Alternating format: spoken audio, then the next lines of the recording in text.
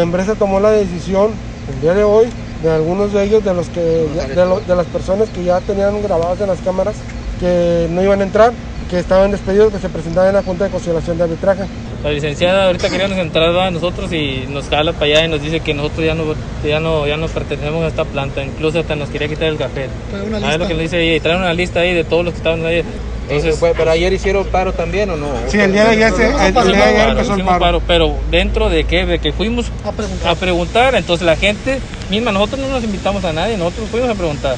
Todos buscan el 15-10, ¿verdad? ¿Cuántos fue- son los que más o menos los que Ahorita los que estamos aquí somos 65 personas, a los que traen en la lista ahí que no nos dejan entrar. Y más o menos con cuánta gente trabaja en su turno. Pues aproximadamente como- como unos unos 400 400 personas. personas.